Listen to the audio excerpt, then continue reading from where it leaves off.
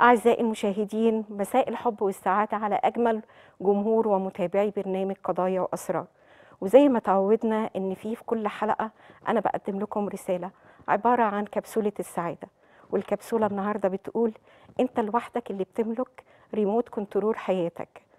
فلازم علشان تظبط التردد إيه إنك تكون ناجح واللي أنت حابب إنك تكون عليه لازم تعزز ثقتك بنفسك وحافظ على أجمل ما فيك من الابتسامة وصفاء سريرتك ونقائك وحبك للخير لكافه الناس واللي ولل وللبشرية عامة. إيه لازم تكون إيه قوي وما تكونش هش وضعيف. وفي بداية برنامجنا رسالة شكر وتقدير من كل أسرة برنامج قضايا وأسرار لسيادة الرئيس عبد الفتاح السيسي القائد والزعيم الذي غير صورة مصر في كل أنحاء العالم وعاد وجعلها شامخة عالية في وجعلها شامخة عالية في كل أنحاء العالم ببطولاته وريادته بمواقفه البطولية لبناء مجتمع قومي فاصل ونرجع لكم تاني.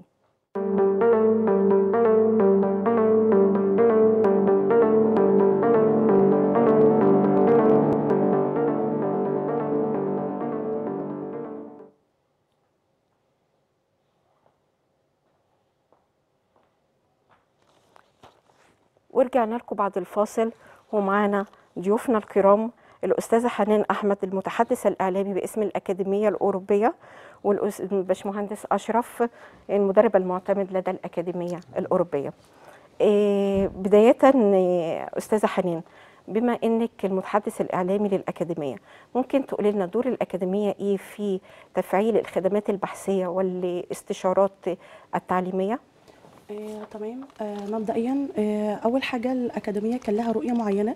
الرؤية دي من خلال إن هي بتحاول على قد ما تقدر إن هي ترتقي بالمحافظة آه، من خلال آه، الدعم الدعم الكامل للشباب. من خلال كمان وفق المبادئ اللي إحنا بنحطها للدولة آه، الرؤية بتاعت الدولة اللي هي 2030 تمام كده؟ آه،.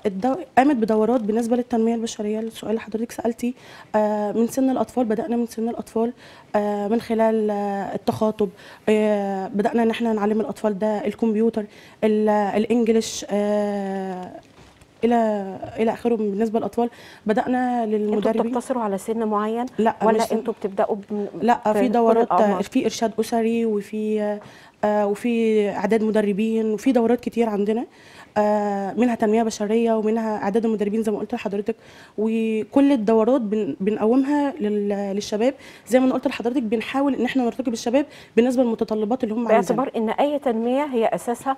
ما ينفعش إن إحنا يبقى في تنمية اقتصادية. أو تنمية اجتماعية بدون. التنمية البشرية. بالظبط. وعلشان يبقى في تنمية بشرية لازم الارتقاء بالمستوى الثقافي. وأنتوا كأكاديمية بتهتموا بالمستوى الثقافي. مش الحياة سن معين الثقافية بس بنبدأ من سن الأطفال بيبقى من. خلال دورات ندوات لقاءات مع الشباب مع مسؤولين بتحاولوا إن أنتوا تعملوا تكثيف وعي بالظبط وخصوصا في ظل مثلا آه، زي إحنا دلوقتي بنعاني من آه، من أزمة آه، كورونا بالظبط. هل في تجاوب وتفاعل من الأكاديمية لتفعيل الدورات دي لزيادة الوعي عند الناس إزاي يتعاملوا مع كورونا و- وتطوراته وأبعاده آه. آه بالظبط إحنا بنبدأ آه بالنسبة عشان التباعد والكلام ده عشان الظروف اللي إحنا بنم...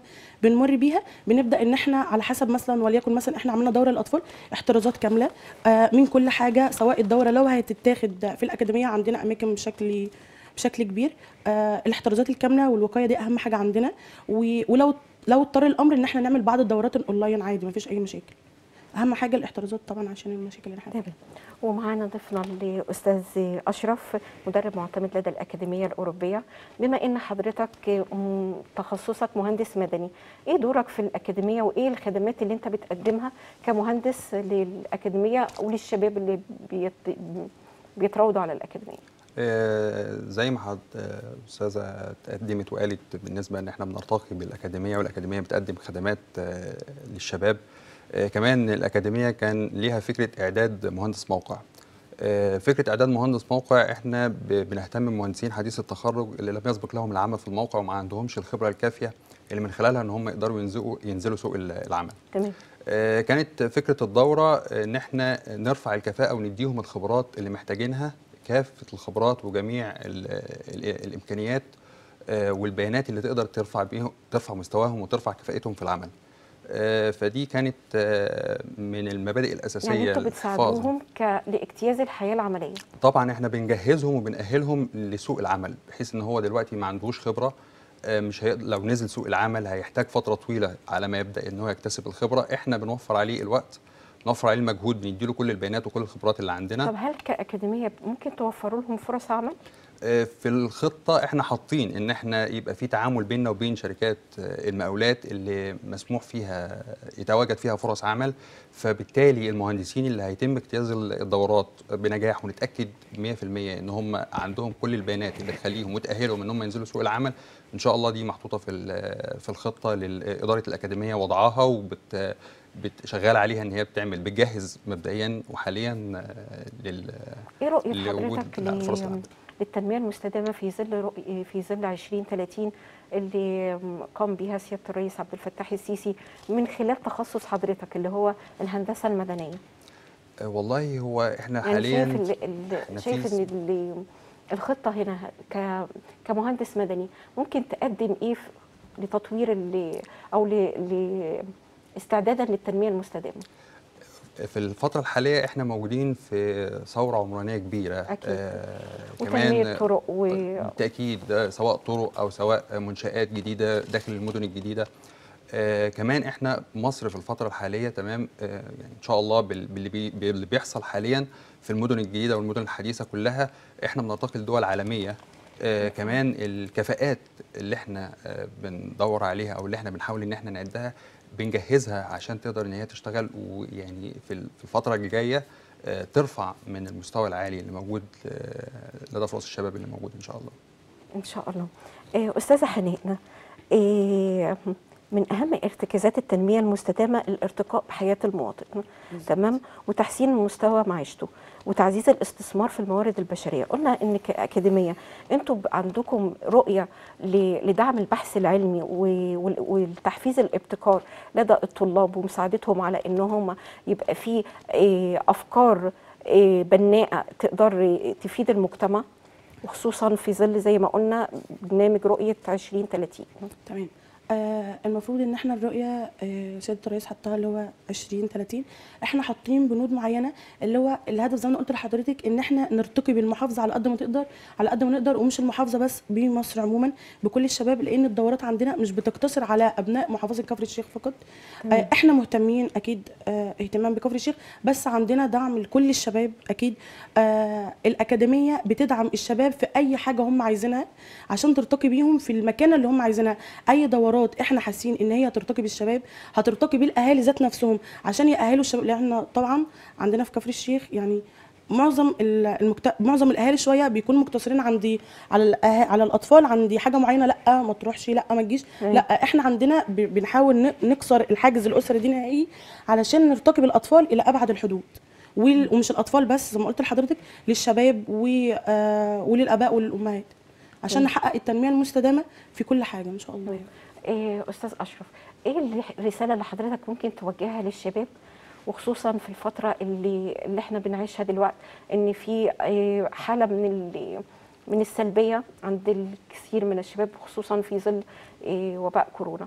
إيه إيه الرسالة الإيجابية اللي تحب توجهها لهم؟ والله هو إحنا في الفترة دي إن إحنا نستغلها آه، سواء في الدراسات أو في إن إحنا نقدر ناخد دورات نقدر إن إحنا نوسع الأفق بتاعنا شوية عشان آه، يسمح لنا إن إحنا ننافس العالم آه، اللي موجود ده كله. يعني آه، وخصوصا في ظل التنمية المستدامة طبعا يعني كمان اللي هو يبقى دعم البحث العلمي وكمان.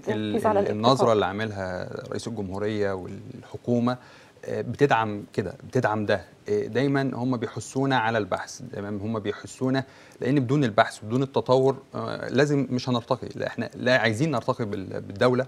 وعايزين نرتقي بأنفسنا فده دورنا دلوقتي إن إحنا نبدأ نجهز نفسنا ونستعد كمان عشان الفترة اللي جاية هتبقى فترة محتاجة آه، قايمة على البحث والتكنولوجيا فده سبيلنا. الوحيد في الفترة الحالية إن إحنا نقدر نستغلها آه، نبدأ إن إحنا نجهز نفسنا كويس سواء بالمعلومات سواء إن إحنا نقدر لو في دورات نقدر ناخدها ناخدها آه، نقدر نعمل سيرش على نوصل للمعلومة الأساسية من خلالها إن شاء الله آه، يعني نقدر نحقق أهداف الدولة بإذن الله. إن شاء الله وأنا سعدت بيكم الأستاذة حنان المتحدث الإعلامي للأكاديمية الأوروبية للاستشارات والخدمات التعليمية والباشمهندس أشرف سعدت بيكم في. لقائنا وإن شاء الله مزيد من اللقاءات المثمرة في إيه، توابع إيه، الخدمات البحثية والاستشارات اللي بتقدمها الأكاديمية.